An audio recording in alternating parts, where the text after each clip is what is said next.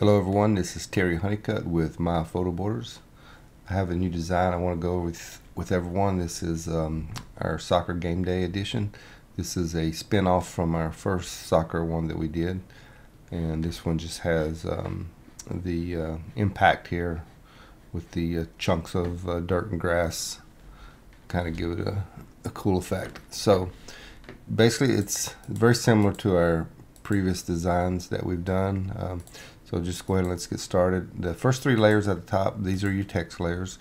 And to update those, generally just double click on the letter T and that will highlight the text and then you can just type and replace it. On the uh, text box at the bottom, um, if you double click here in the lower right hand corner, this will open up the uh, color picker and then from here you can um, change the, uh, the box color down there As far as the uh, stroke around it, if you double click on the FX over here to the far right, click on stroke and then click on color, this will open up the color picker as well. And if you want to apply a stroke around the edge, you can do that. The main part of this design is updating the logos. And let's go ahead and start with, um, I'll just open this, the right soccer ball here. So uh, each ball is in its own group and if you um, expand the group here you'll look down here and you'll see um, highlighted in lavender a layer that says change right logo here. So if you double click that that's going to open up the uh, logo file. And I'll go ahead and do that now and show you how to update the logo.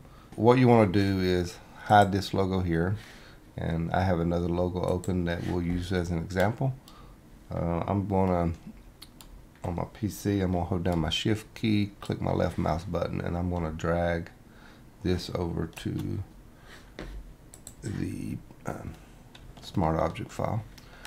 And then if it comes in big or small, you'll need to scale your logo down uh, to fit your design. So let's just start with that. And then you need to save this and it'll update it on the template. So let's go back and take a look. There we go. So let's bring it on down a little bit. I like to fit it in between the um, octagon patterns there. So let's bring it on down, save it. Okay. Maybe a little bit more.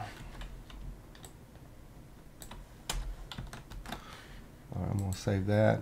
All right, I can live with that. Maybe shift it to the left just a little bit. Right, so if you want to center it, then you'll just need to kind of play around depending on the shape and size of your logo. Just move it around, uh, hit save, then go back and look at the template. So let's go ahead and uh, stay with that. And then the other features of the ball is you can change the color of the ball. So I'm going to show you how to do that real quick. So the actual ball color is here where it says soccer ball color. If you click on this, you can change it. So let's say we want to go maybe purple here. There we go. We'll try to match the logo.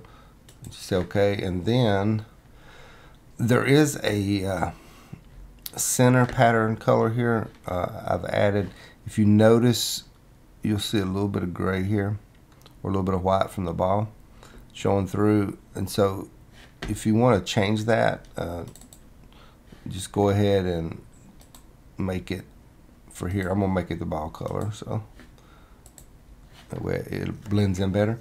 And then the actual um, the patterns here on the ball, you can double click here where it says soccer ball pattern color, and let's make it the color of his. Um,